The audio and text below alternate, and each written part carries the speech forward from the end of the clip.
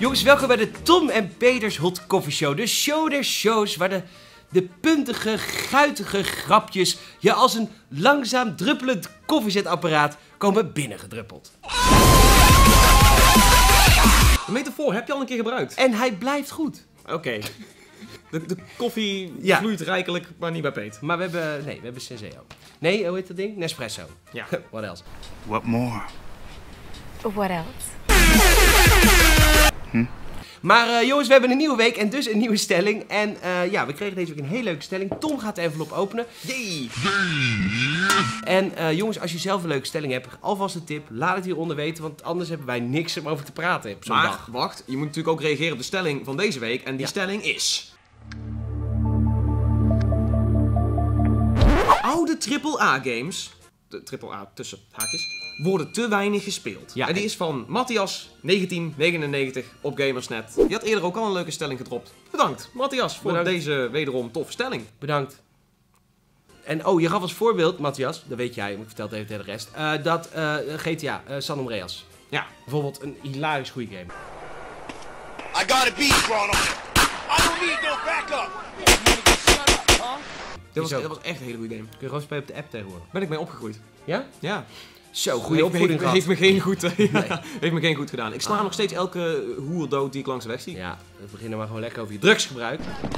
You cool, man? Oh ja, tuurlijk. Maar goed, hey, ehm, ben jij een nostalgische gamer? Ehm, ja, op zich wel, maar ik ben niet eens met de stelling. Oké. It's the one and only Digo Double G. Want eh, dus hij, ja, Matthias zegt oude games worden te weinig gespeeld. En dan denk ik van, ja, dat moeten mensen voor hunzelf weten. Je hebt gewoon mensen die hebben geen zin om het verleden in te duiken. En alleen maar met nieuwe games bezig te houden. Ik ben wel een gamer die af en toe weer een oude titel oppakt. En dan denk ik van, oh ja, dat was vet. Bijvoorbeeld Ja. laatst nog, eh, jij hebt, je hebt Zel- Zelda, eh, The Legend of Zelda Twilight Princess HD gespeeld. En Ja. toen dacht ik, shit, oh man, Ah. Dat mis ik. Ja, maar het is een nieuwe game. Ja, oké, maar toen ben ik de oude gaan spelen op de Oh, Gamecube. echt? Ja, omdat Oh, ik zoiets vet. had van, oh ja, oh, die, die muziek en, en eh, die, die crappy graphics eigenlijk. Ja. Ja, nee, de- ik heb dat wel eens. En ook GTA San Andreas veel nog gespeeld, tien jaar nadat het is verschenen. Eh, af en toe eh, de Gamecube games, man.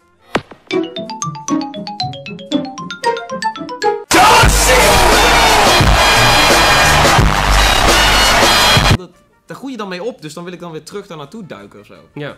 Oké. En jij? Kijk, luister. Moet je even luisteren, hè. Ehm, ik heb nogal een hekel aan heel veel van mijn eh, generatiegenoten. En waarom is dat? Mijn generatiegenoten zijn allemaal enorm nostalgisch. Onze tekenfilms waren beter, G.I. Joe. Onze muziek was ruiger, weet je, geen eh, eh, singer-songwriters. En onze games waren beter, weet je wel. Carmageddon, Commando's, Oh ja, Doom, oh wauw, Ja. oh, drie Als- pixels, ja, zo de leuk, echte zo mooi. Battlefront. We willen de echte Battlefront. Ja, Terwijl ik ben heel van games van nu. Ik vind dat games nu veel beter zijn dan vroeger. Alleen, maar... ik ben begonnen met... Ja, ik ben tegenwoordig... Ik ben, ik ben natuurlijk tegenwoordig samenwerking met dus David Games. Ik ben nogal opgenomen in de YouTube community. Ook met Koppersan hier. Dus ik ben YouTuber, dus ik eh, moet helaas eh, Let's Plays doen. Dus ik ben bezig met een nieuwe Let's Play serie. en eh, die gaat over het spelen van oude games. Dus ik heb onlangs Knights of the Old Republic gespeeld. Ik heb Commando's gespeeld. De tweede Carmageddon. En Command Conquer 1. Het is wel heel vet, toch? Ja, nee, tuurlijk. Maar eh, ik denk ook alleen als jij een nostalgie erbij voelt. Voilà, als jij, als jij is 12 bent en je speelt nu Call of Duty en je denkt, oh ja, die gasten van Gamersnet die zeggen dat ik oude games moet gaan spelen. Ja. Dan misschien voel je die vibe dan niet helemaal. Dat denk je, ik dus "God, niet." wat is het lelijk. Want wij hebben ook games in, de jeugd, in onze jeugd niet gespeeld. Bijvoorbeeld, er waren games waar mensen helemaal gek van waren, maar die ik niet heb gespeeld. Heb ik overgeslagen. Bijvoorbeeld Age of Empires. Ik weet hoe gek Tom Oh. van Age of Empires is. Dat, weet ik. Dat is echt goede shit. Heb ik nooit gespeeld. Dus als ik dat nu ga spelen, en ik heb dat wel eens gedaan, vind ik er niet zo aan. Want ik was van Command Conquer vroeger. Dus ik denk inderdaad dat het meer nostalgie is dat je voelt, Matthias. Terwijl, trouwens, je bent 17. Ik kom 1999. Ja, inderdaad. Dus je bent Hè? vrij jong. Ja, Je mag eigenlijk GTA San Andreas helemaal ook nog niet spelen. Nee, nu zelfs nu niet. Nee. Bedoel, wat zijn jouw nostalgische games? I don't know. Wolfenstein The New Order, echt? Ja. oh ja, vroeger speelde ik echt van die super vette spellen. Battlefield 3 en zo. Ja.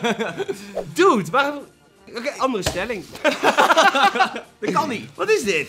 Nee, ja, ik vind het wel, ja, het is wel apart. Ik, ik denk wel dat voor de meeste mensen, misschien voor Matthias niet, maar voor de meeste mensen is het toch die nostalgie die het hem doet. Maar misschien zijn er ook wel nieuwe gamers die zoiets hebben van, ik moet toch die oude geschiedenis van de games ook oprakelen of zo. Dat zou ook kunnen. Misschien is Matthias wel zo'n gamer die dat, die dat vindt van zichzelf. Mooi bruggetje. Laat het ons weten. Ja, laat het ons weten. Ben jij echt een beetje bezig met oude games of totaal niet?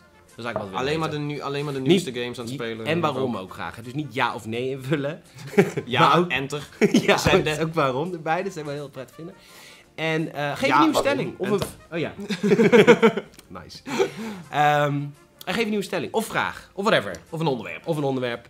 Het mag allemaal, wij bespreken het graag. En Ja. Matthias, zeer bedankt voor deze stelling, ook al mag je eigenlijk die game helemaal nog niet spelen. Ja. En eh, ja, inderdaad, wat Peter zei, drop een nieuwe stelling. Ja. Doe je ding. Dankjewel voor het kijken. Vrede uit.